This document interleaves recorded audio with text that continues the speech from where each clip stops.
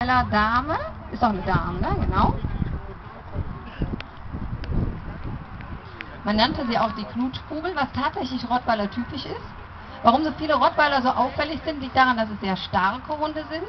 Manchmal auch Hunde, die selber Entscheidungen treffen, aber leider auch ganz oft einfach am Finger gehalten werden und das schlägt nur mal aufs Gemüt.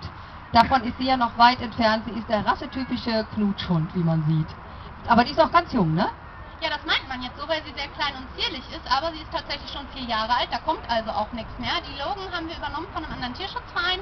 Die sollte eigentlich nur zeitweise bei uns wohnen, weil sie von unserem Tierarzt operiert worden ist. Die ist nämlich voller Schrotkugeln gewesen. Der Großteil ist schon raus, aber das ist natürlich eine Frickelarbeit. Ähm, so lange konnte man sie nicht in Narkose liegen lassen. Sie muss nochmal unters Messer, damit der restliche Schrot rausgeholt wird. Die Logan ist total lieb und freundlich, wie Sie hier sehen. Ich habe sie heute selbst erst kennengelernt, weil sie erst zu kurz bei uns ist. Ich glaube, dich kennt sie auch nicht. Ne? Aber Sie sehen, total lieber kleiner Rottweiler, sehr handlich, auch noch von der Größe, denke ich, für Rottweiler-Freunde, die sich vielleicht noch einen großen, bulligen Grünen nicht mehr zutrauen, wäre die Logan super. Sonst wissen wir noch nicht so ganz viel über sie, aber das lernen wir alles noch kennen. Aber bei der zum Beispiel würde ich auch der, irgendwie, die wirkt so aufgeschlossen, als wenn der egal ist, wie alt die Menschen sind, ob klein oder groß, ne?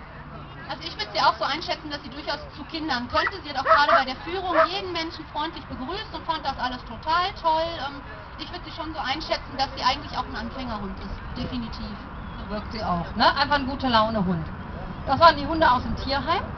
Ne? Oh, da, der Valentino kommt noch, genau.